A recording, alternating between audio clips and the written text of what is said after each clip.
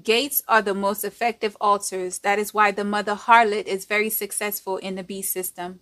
Over 3 billion are tied to her evil altars all over the world. Her doctrines are taught in numerous churches and Israelite assemblies all over the world.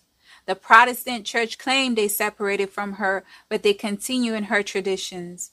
Many Israelites in the awakening said they have come out of her but continue with her doctrines. The gates of hell, scattered all over the beast system from Rome, are controlling many. To the righteous, don't let their wicked altars scare you. The Most High said in His word that we will possess the gates of our enemies.